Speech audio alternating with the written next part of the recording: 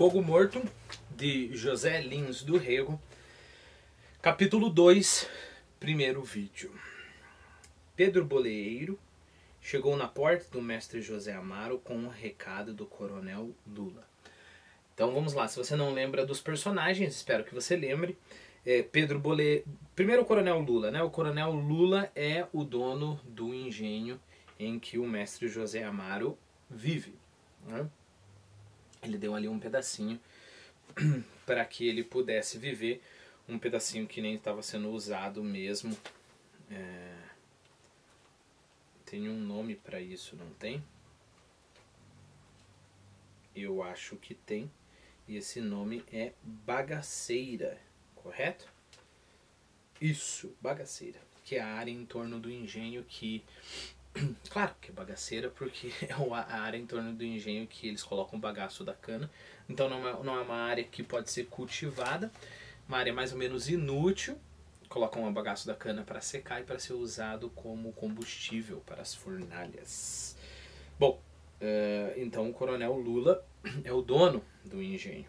O Pedro Boleiro, não sei se vocês lembram, mas quando o coronel Lula passou em frente à casa do José Amaro, ele estava do lado do coronel Lula e ele nem olhou para o José Amaro.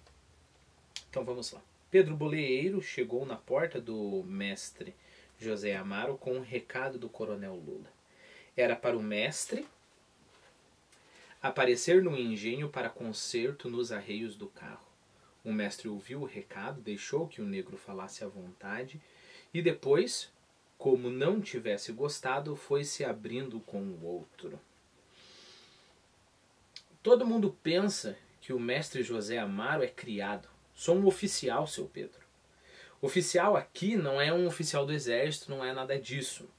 O oficial aqui é, é alguém que tem uma profissão, né? um, um, profissional. Okay? Então ele não está fazendo aquele ofício como uh, amador, ele está fazendo como um profissional. A propósito, ele está fazendo o ofício como um profissional, então ele é um oficial. Okay? Esse, esse é o, o sentido aqui. Né? É... Todo mundo pensa que o mestre José Amar é criado. Sou um oficial, seu Pedro. Sou um oficial que me prezo. O coronel Lula passa por aqui, me tira o chapéu como um favor. Nunca parou para saber como vou passando. Tem o seu orgulho, eu tenho o meu. Moro em terra dele, não lhe pago foro. A gente pode pronunciar fora ou foro. É, é, é um, como se fosse um aluguel que você paga para o senhor da terra. Né? Então, moro em terra dele, não lhe pago foro, porque aqui morou meu pai no tempo do seu sogro. Fui menino por aqui. Para que tanto orgulho? Não custa nada chegar ele aqui e me perguntar pela saúde. Me contava o meu pai que o barão de Goiânia não tinha dessas bondades. Bondade aqui não é, é bondade no sentido nosso, né? Ter bom coração. É, é, regionalismo primeiro, né? você não vai encontrar isso no resto do Brasil, você vai encontrar isso basicamente no norte e no nordeste do Brasil. Uh, e quer dizer presunção, soberba, né? empáfia, é um outro jeito de falar. A gente não sabe, claro, se tiver alguém do norte ou do nordeste, se esse é um vocabulário corrente, né? Lembre-se que esse livro aqui foi escrito no 1940, é isso? 1943. Uh, então a gente não sabe se sobreviveu, né? A gente lendo Nelson Rodrigues, a propósito, uh, a partir agora de 2021, toda, todo domingo às 10 da manhã, eu vou ler uma crônica do Nelson Rodrigues, fazendo uma propagandinha aqui. Mas a gente lê no Nelson Rodrigues, por exemplo, a gente escuta uh, coisas como papagaio para hora vida, puxa vida, hora bolas, né? É, isso não se usa mais, pelo menos não que eu saiba, as pessoas não falam papagaio. É, pode ser que aconteça alguma coisa com bondades, aconteça alguma coisa parecida com bondades, né? Mas o que importa é no nosso texto aqui. Então, bondade aqui é presunção, soberba, Bondade é aquele que se sente o bonzão. Vamos colocar assim para ser melhor para entender e lembrar. Meu pai Não, me contava meu pai que o barão de Goiânia não tinha dessas bondades, era homem de trato com os pequenos. E o barão de Goiânia tinha razão para Goga. É, Goga é vaidade, jactância. Né? É, basicamente como é que é? Se é, se gloriar né? Autogloriar. Então esse sim o barão de Goiânia tinha razão para Goga. Era dono de muitos engenhos homem de muito dinheiro na caixa.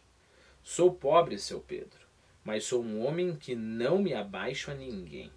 Bom eu não sei quanto a você mas eu quando eu leio essa parte já começa a me dar um desespero, assim, é, pelo amor de Deus, eu já imagino assim, ah, falando, cala a boca, homem, cala a boca, Zé, porque esse cara, o Coronel Lula, simplesmente é o dono da terra na qual ele mora de favor.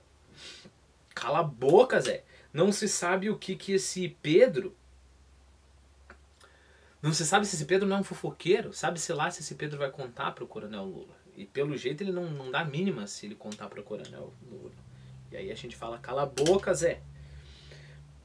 Bom, aí o Pedro responde: Mestre Zé, não tenho culpa de nada, não. O homem mandou chamar o mestre, estou somente dando um recado. Eu sei, não estou dizendo nada demais, falo como falo com todo mundo. Eu não posso ver é pobre com chaleirismo, como esse Vitorino, cabra muito do sem vergonha, atrás dos grandes como cachorro sem dono. O coronel Lula quer que eu vá consertar os arreios do carro dele? Pois eu vou. É, chaleirismo é bajulação, lisonja. Então, aparentemente, o coronel, ou quer dizer, o Vitorino fica aí lisonjeando os, os grandes. Isso o mestre Zé não faz, de acordo com ele. Pois eu vou. Está tudo podre, mestre Zé. Não posso fazer força que se estoura tudo. Aquilo é coisa de muitos anos. É que vocês não têm cuidado com as coisas dos outros, quebram tudo. Não é não, mestre Zé. É que a coisa está mesmo nas últimas. O coronel Lula é homem de opinião, é um homem soberbo. Nunca vi senhor do engenho de tanto luxo. Claro, é o mestre Zé falando, né? Nunca vi este homem a pé correndo os partidos. Veja você o coronel José Paulino. Não sai de cima de um cavalo. E é rico de verdade. O coronel Lula não vive montado naquele cabriolé como um rei. Partido aqui é grande extensão de terra é, plantada, a grande extensão de terra plantada de cana de açúcar. Até o coronel José Paulino, coronel José Paulino, que é rico de verdade, sair por cavalo e o coronel Lula fica lá como um rei no seu cabriolé. E lembre-se que o José Paulino é é aquele coronel que o mestre Zé também estava criticando, né? Também estava falando mal, que é o cara que grita com as pessoas. Vive montado naquele cabriolé como um rei. É de gosto, mestre Zé, é de gosto. Já o velho Costa de Mata de Vara não anda a cavalo para não gastar os cascos do animal. Estou falando é de gente, seu Pedro. A propósito, esse Costa de Mata de Vara é um coronel que ainda não apareceu. Mas é claro, a gente consegue inferir que ele é muito sovina, né? Mão de vaca. Então vou voltar para a frase do Pedro. É de gosto, Zé, é de gosto. Já o velho Costa de Mata de Vara não anda a cavalo para não gastar os cascos do animal. Estou falando de gente, seu Pedro. Não me venha com o exemplo daquele bicho. Aquilo é um bicho e muito do ordinário. Aqui me chegou ele uma vez para me encomendar uma cela. Era um falar que não acabava mais. Falou, falou, e no fim me ofereceu uma miséria. Eu fui logo lhe dizendo: Capitão Costa, eu vivo disto. Eu não estou em condições de dar presente a rico, não. Ah, disse nas ventas dele. Lembre-se que ventas são narinas, né? Se um cavalo bota fogo pelas ventas, sai fogo das narinas do cavalo. Um outro jeito de falar seria eu disse isso nas fuças dele. Novamente o Pedro. O coronel Lula não fica atrás, mestre Zé. O homem. O homem somítico danado. Somítico é avarento. É de raça, seu Pedro, é de raça. Dizem que o pai dele era a mesma desgraça. O pai dele esteve corrido por causa da Revolução de 48. Dizem que morreu no mato. O meu pai fala desta guerra de 48. Mataram um primo do barão de Goiânia, um tal de Nunes Machado. O pai do coronel Lula andou com este povo, acabaram com ele. A mulher ficou amalucada, o filho é isto que o senhor conhece. É verdade, mestre Zé, aquele homem não regula bem, não quero falar não, mas digo aqui ao senhor, tenho até medo de viver com aquela gente. Qual nada, seu Pedro? É porque o senhor é novo. Conheci o antigo boleeiro de lá, o velho Macário. Nunca vi tanta dedicação por um homem como a dele pelo coronel. Morreu de velho. Contam que Macário viera de Pernambuco para trabalhar com o coronel por causa do pai. Fora cabra do velho Holanda na guerra de 48. E era macho de verdade. Na questão que o coronel teve com Quinca Napoleão, o velho Macário um dia foi ao safado do Quinca Napoleão e lhe disse: Olhe, seu major, a minha vida não vale nada, mas o do senhor vale muito. O coronel não pode ser desfe desfeiteado. Gosto de um homem assim como esse mestre Macário. Perceba que ameaça genial, né? Uh, de uma pessoa simples assim, de qualquer pessoa, que é chegar assim basicamente, ó. Minha vida não vale muito, a tua vale muito. Qual é a conclusão que você tira disso? A conclusão é que se eu te matar eu acabar morrendo, indo pra prisão, eu saí no lucro, porque eu tirei uma vida que vale muito para minha vida que não vale nada. Uh, eles estão falando direto da, da guerra de, de, de 48. Então, uma, por cima, assim, se eu lembrar, eu vou colocar na descrição do vídeo um, um, um canal com, com uma explicação bem, bem rapidinha, de uns 8, 10 minutos, mas também é coisinha fácil de, de, se, de se encontrar. É, você vai encontrar mais facilmente como é, Revolução Praiana. ok? Então vamos lá. Foi em Pernambuco, segundo reinado, então tinha esse partido da praia, que era basicamente uma radicalização do Partido Liberal. Tinha ideias muito liberais até para os liberais, e eles criaram esse, é, esse partido. Eles eram contra a concentração fundiária, mas por outro, por outro lado eles eram a favor da manutenção da escravatura, né? E um lema bem interessante para você lembrar dos praianos é quem não é cavalcante é cavalgado. Né? Cavalcante o nome de uma família importante e basicamente estavam criticando a estrutura da terra ali. Então se você não é é, membro de uma família importante, como Cavalcante, você é cavalgado, você é explorado. Né? Só que eles eram a favor da escravidão. É, essa, se eu não me engano, foi a última das revoluções é, contra, contra o segundo reinado, ali no reinado do Brasil. Durou de 1848 a 1850.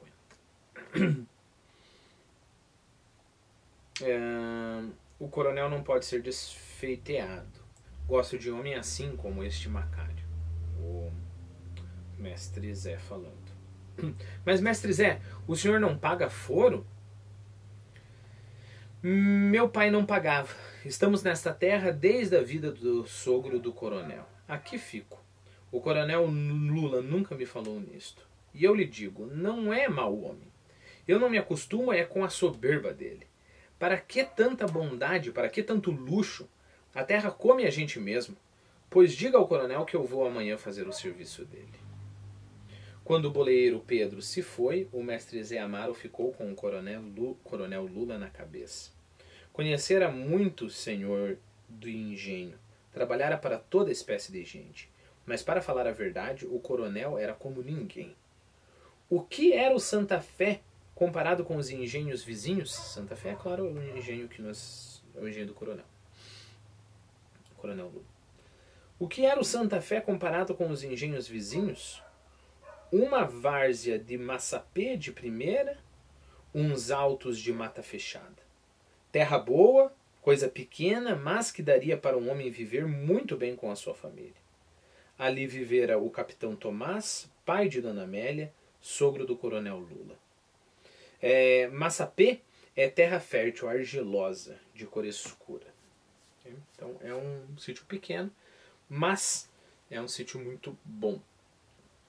Então vamos lá lembrar então que é, o marido, quer dizer, a, a esposa do coronel Lula é a dona Amélia e o pai dela é o capitão Tomás. O capitão Tomás era o dono do, do desse engenho.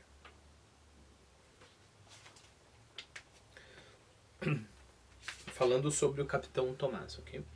Conhecera-o ainda menino, mas o seu pai falava dele como de homem reto, de trabalho, de ação decidida.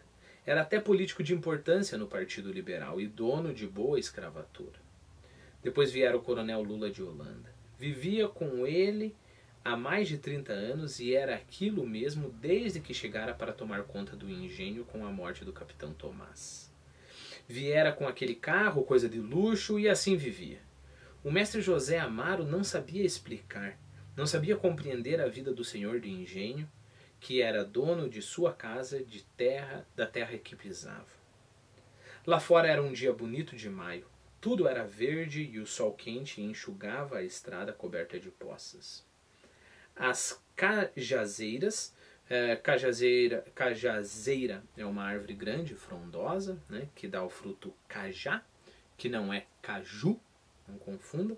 Mas são até parecidos, a única coisa que o caju tem é castanha, mas eu nunca comi nenhum o outro, eu acho, então não posso dizer muita coisa. Uh... Embora já tenha tomado suco de caju. Bom, estou indo longe demais. Mas tinha lá as cajazeiras, davam sombras, e pelas estacas as flores das trepadeiras enfeitavam de azul e de roxo o pequeno corral onde a velha sinhá criava os seus porcos. Os bichos chiavam na manhã clara. O mestre José Amaro deixou o coronel Lula e a mulher, que atravessava pela sua frente com um feixe de lenha nas costas, tomou conta dele outra vez. Como assim a mulher tomou conta dele? É, não só ele começou a pensar na mulher, perceba a, escolha de, de, de, de vocabulário aqui, né? O narrador poderia falar: ele deixou de pensar no coronel Lula e começou a pensar na mulher. Mas parece que o coronel Lula estava tomando conta dele e aí depois a mulher tomou conta dele. Parece uma coisa mais forte, mais hum, drástica, não sei, dramática. É quase como uma coisa que você não consegue escapar. E perceba que é como se ele fosse oprimido pela raiva que ele sente pela mulher por todo mundo. Né? Quis falar com ela, mas parou no meio da palavra que lhe saíra da boca. E para corrigir-se, bateu com mais força na sola que trabalhava. Era sua mulher Sinhá, e não podia esconder seu ódio por ela. Agora viu a filha sair de casa com uma panela na cabeça, caminhando para o chiqueiro dos porcos. Era de fato a sua filha, mas qualquer coisa havia nela que era contra ele. Qualquer coisa que havia na menina era contra José Amaro. O mestre José Amaro viu-a no passo lerdo, no andar de pernas abertas, e quis falar-lhe também, dizer qualquer coisa que lhe doesse. Martelou mais forte ainda a sola e sentiu que a perna lhe doeu. Com mais força, com mais ódio, sacudiu o martelo. Era sua família, uma filha solteira, sem casamento em vista, sem noivo, sem vida de gente. Bom dia, mestre Zé. Era o pintor laurentino que voltava do Santa Rosa. Acabei os serviços ontem de tarde. Foi trabalho muito. O coronel vai dar uma festa de arromba. Dizem que vem até governador. Também casa a última filha. Pintar a casa toda? Tudo está em brinco. Está lá o mestre Rodolfo botando água encanada para o banheiro. O coronel, o coronel José Paulino quando gasta, gasta mesmo. Tenho visto passar muito troço. Há 15 dias, quando você passou por aqui, eu lhe dizia que o velho do Santa Rosa não conta comigo para coisa nenhuma. E não me arrependo. Você passa por aqui para me contar grandeza da casa dele. Está muito enganado. Não me bota água na boca. É... Deixa eu, não, vou fazer as minhas observações depois. então eu já vi passar muita coisa aqui e você não me bota inveja, não me bota água na boca me, me falando sobre a fazenda dele. Nada, mestre Zé, o senhor desconfia de tudo. Eu sei que o senhor não vai com o coronel, mas não é para chegar a esse ponto. É bom parar, seu Laurentino. Sou um homem pobre, sou um oficial sem nada. E estou contente, não me lastimo. Pode o senhor ir dizendo por aí afora, o mestre José Amaro não tem inveja de ninguém. Quem tiver o seu dinheiro que meta no rabo. Mestre, não vim aqui para brigar. Não estou brigando, homem de Deus. Isso não é briga. Então eu não posso falar a verdade? Está certo, mestre Zé, está certo. O senhor me desculpe. Não tenho, não tenho que desculpar coisa nenhuma. Se eu quisesse, estava em Goiânia, bem rico de mel. Riqueza de ninguém me faz sofrer. Houve um pequeno silêncio. O canário cantava na biqueira com todo o fôlego. E rugia na sola a quissé do mestre José Amaro.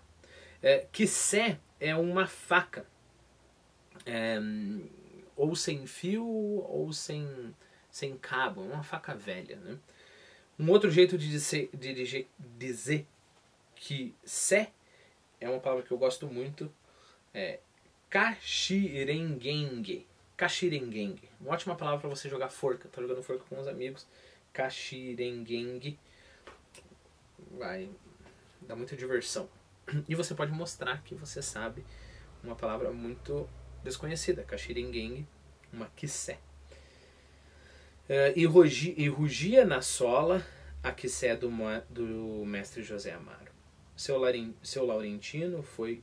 Não, desculpe. Seu Laurentino, foi ele dizendo: Um homem vale pelo que é e não pelo que tem.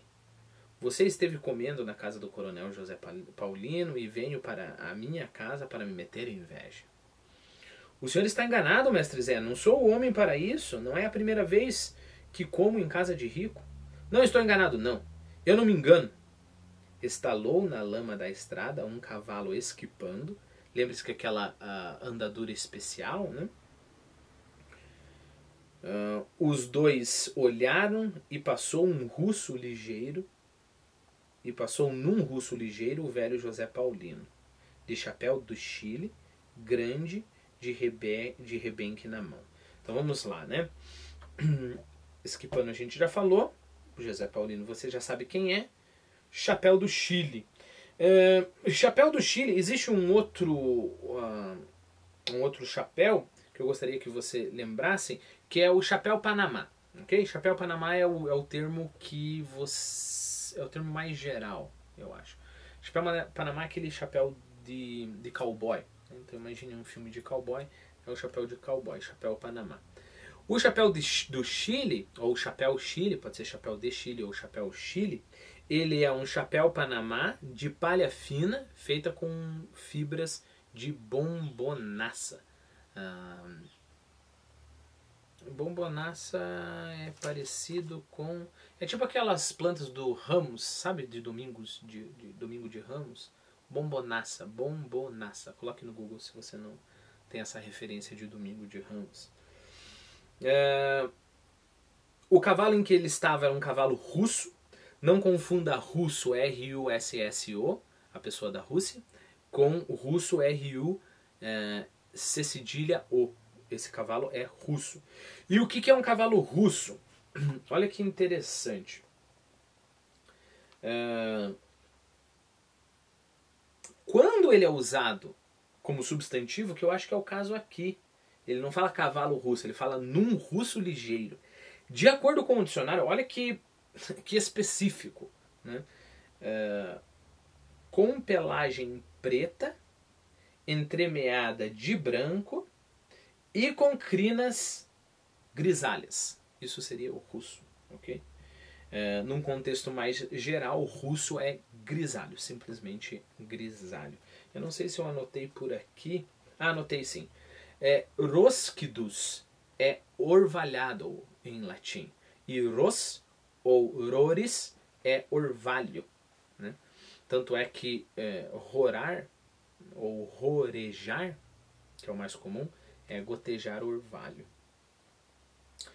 Uh, ah, eu, te, eu, coloquei a definição aqui de que sé, faca desgastada e inútil, uh, às vezes com a lâmina partida ou sem cabo. É claro que aqui no nosso na, nossa história, uh, eu não acho que seja sem, sem fio e seja inútil, só para enfatizar que ela é velha, toda quebrada. Hum? Bom, então ele estava num cavalo russo ligeiro, estava de chapéu de, do Chile na cabeça e um rebenque na mão. É um tipo de chicote pequeno em forma de bengala, assim bem bem comum.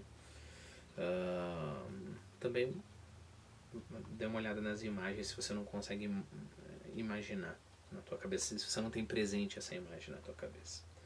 Então vamos voltar. Seu Laurentino, foi ele dizendo, um homem vale pelo que é e não pelo que tem. Perceba que o assunto já tinha morrido, né? Você esteve comendo na casa do coronel José Paulino e venho para minha casa me meter inveja. O senhor está enganado, mestre Zé. Não sou homem para isso. Não é a primeira vez que como em casa de rico. Não estou enganado, não. Eu não me engano.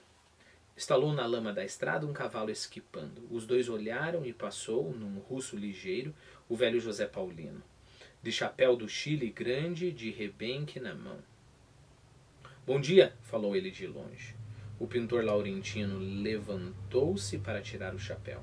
O mestre José, Paulo, José Amaro grunhiu por entre os dentes um bom dia de raiva. Pararam de falar. A manhã brilhava por todos os lados. Chiava lá para dentro da cozinha o toicinho na frigideira de barro. Uh, aqui eu tenho uma digressão para fazer. Eu acho que em três minutos eu consigo. Perceba que a gente tem aqui uma, uma frigideira de barro. Né? Eu não sei se você tenha é, presente essa imagem na tua cabeça, mas novamente o Google vai ajudar. Mas o, o interessante é que uma vez que você entende que o que o, a arte faz é você fazer, é fazer você ver as coisas. Ah, tanto faz nesse sentido, né, a chaleira de barro, as plantas que estavam ali, tanto faz você estar lendo um livro ou você entrar, por exemplo, você vai visitar uma casa de um, de um tio que mora na fazenda e você entra nessa casa e em vez de só conversar com ele, você vai prestando atenção, presta atenção no teto, presta atenção nas paredes. Quando você entra na cozinha, você presta atenção nas panelas, você presta atenção dos cheiros, você presta atenção no chão. Se é uma casa bem simples mesmo, chão de terra batida, como que é você pisar num chão de terra batida? Como que é você, por exemplo, dormir e ter o chão, um chão, é, ter terra no chão e não uh, um piso? É, você ir absorvendo tudo isso, todas essas sensações, né? Eu falei meio que tanto que faz, mas na verdade é mentira, porque essa experiência de você visitar o teu tio e prestar atenção na casa dele é muito mais rica que o livro. O livro só vai fazer referência a isso, ok? Por quê? Por que, que eu estou falando isso? Uh, porque se tem muito essa noção de que a literatura é o ápice, então eu vou me fechar no mundo da literatura e aí capaz que eu vou perder tempo visitando, visitando um tio no mato, né? Capaz. Eu tenho aqui os grandes nomes da literatura, mas lembre-se que o que os grandes nomes da literatura fazem é fazer referência à realidade. A realidade é muito maior do que a literatura. A, a literatura ela tenta uh, se conectar com a realidade, ela tenta emular a realidade, né? E organizar, claro. Mas a realidade é muito mais rica, ok? Tá acabando o espaço do meu vídeo. Próximo vídeo eu começo falando sobre um primo meu. Eu acho que vai ser interessante para a gente continuar essa discussão.